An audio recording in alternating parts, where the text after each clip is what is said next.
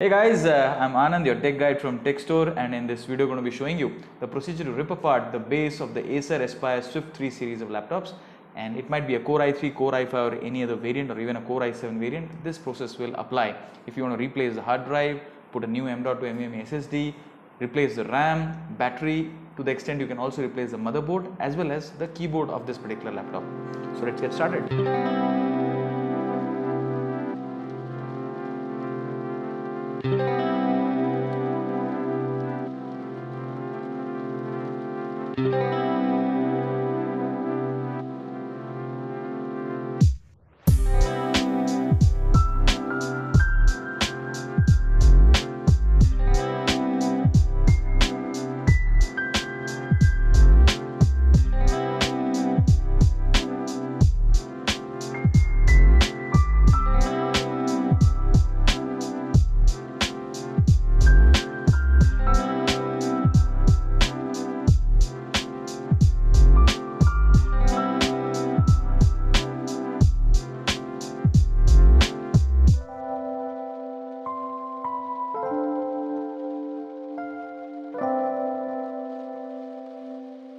So if your laptop is something that looks like this on the top, it might be any color.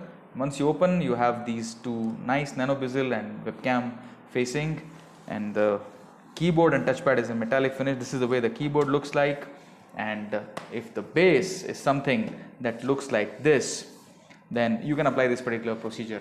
Just a quick review on the laptop. Uh, on the left side is a Kensington lock. You have a USB 2.0 port, a memory card reader, and uh, you have battery indicator and power indicator. On the front, you don't have anything. On the right side, you have a headphone mic combi. You have a C-type port. You have two USB 3.0 ports and one HDMI port along with a DC jack.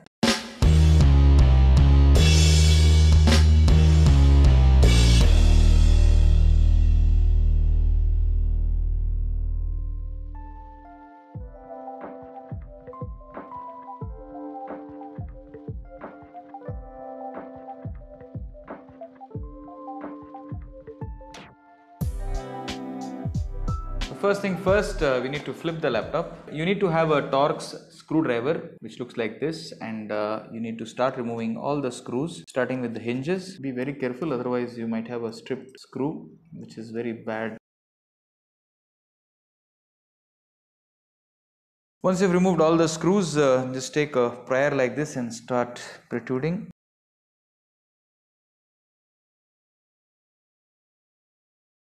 the base lid once removed you have access to the entire laptop. Yeah this is the battery the hard drive the m.2 ssd and uh, ram is over here. So let's start removing everything one by one. So you need to remove the battery. You need to have a normal star screwdriver so if you want to replace the battery, this is the battery that you need to replace. It is a AC17B8K battery that uh, Acer has integrated. For the hard drive, you need to remove these screws. It's connected by the strip connector. Just remove the strip connector and remove the strip. Just below the backlit strip, there is another screw. So four screws in total and you can remove the hard drive.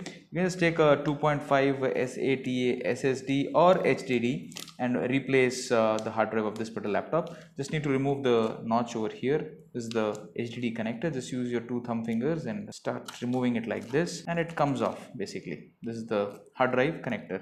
Just take a similar uh, 2.5 SSD or hard drive and uh, remove these 1, 2, 3, 4 screws and you can replace the hard disk very easily.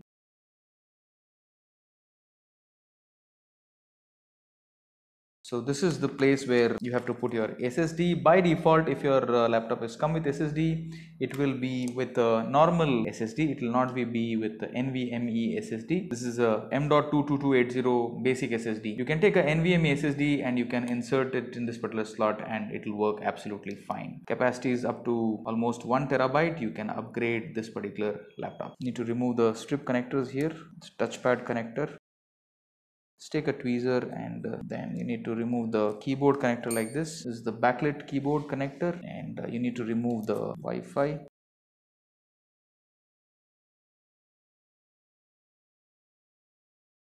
And you need to remove the VGA connector. Also the LED cable strip connector just need to remove it like this. We need to remove the display completely. So the two hinge screws on the right as well as on the left. This will ensure that there is no damage to the LED screen on the base. Open up the hinges.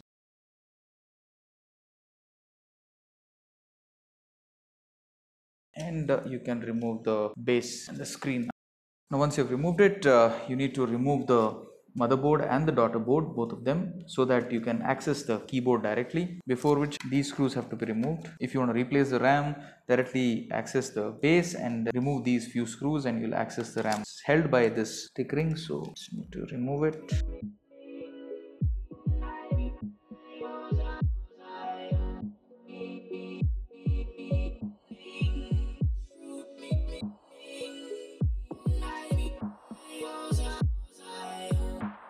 So this is where the RAM bay is. You can put two uh, memories, 8 plus 8 or 16 plus 16 dual channel memory gets activated. Uh, if you want to remove the RAM, just need to use your two thumb fingers and uh, pluck out the RAM here.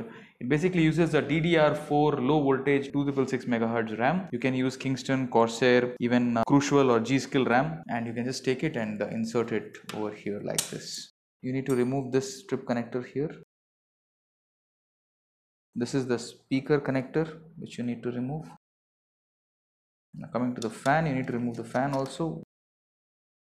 This is the fan connector. So any of you who want to replace the fan this is the way you do it. This is the wi-fi chip over here. Now we need to remove some screws which are uh, on the motherboard. This is one screw over here. There will be these white triangles. You can make a note of that. You need to put screws only where those white triangles are and your motherboard is out. If you want to replace the motherboard just take a similar motherboard like this and uh, this is the part code number ER5EA this is the main board of Acer and uh, you can replace it. Need to remove the daughter board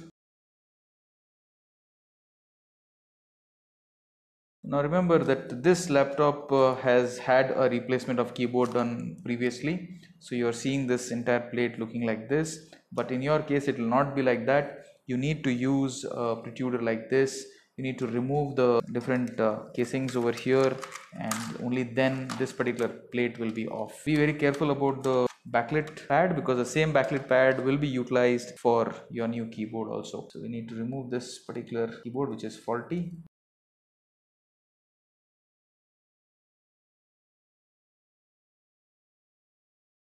So once you've removed the keyboard and the plate covering the keyboard which you have to remove it with a lot of uh, pressure you need to start removing these using a nail cutter at your home and you can use this thing to remove these rudders which might otherwise create a problem for you.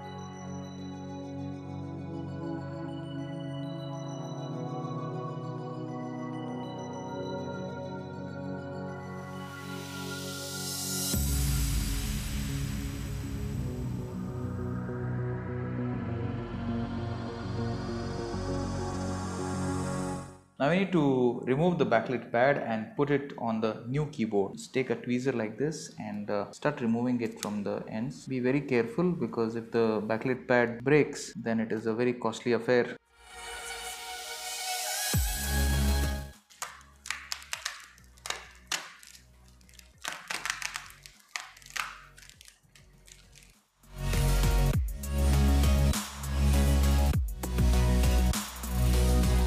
Put up the backlit keypad on the new keyboard.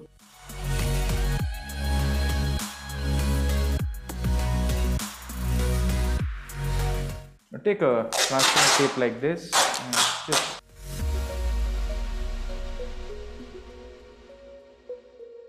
a little portion of the tape should be outside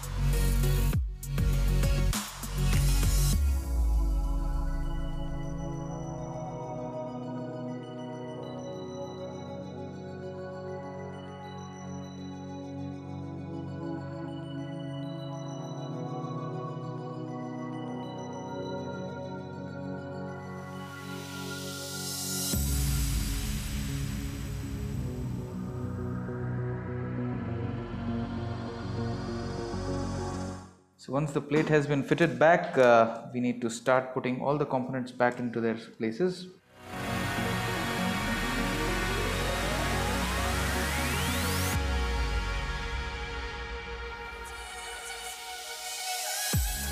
We just need to put in the screws now of the motherboard. Find the white triangle.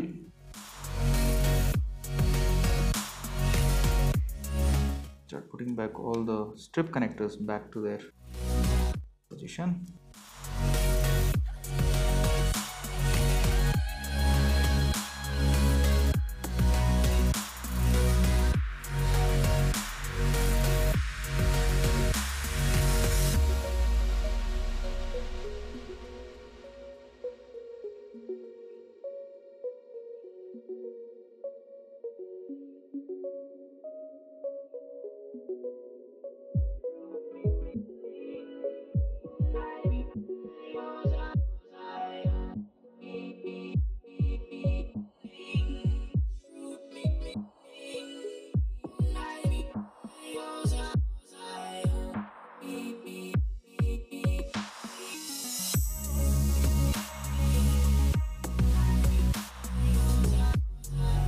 Let's put the screen back.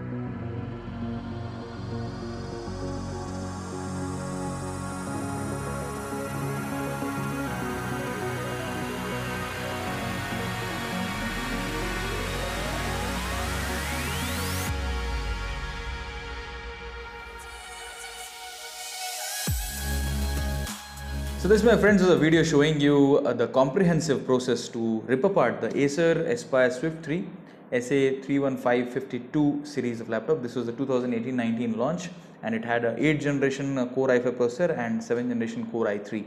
So if your laptop is something like this, then this is the way you can upgrade the entire laptop, clean up the laptop to the extent you can replace the motherboard of your laptop also. We have shown you how to replace the keyboard, M.2 NVMe SSD, RAM, hard drive, battery, CMOS cell, literally everything that you want to know about your Acer Swift 3 laptop.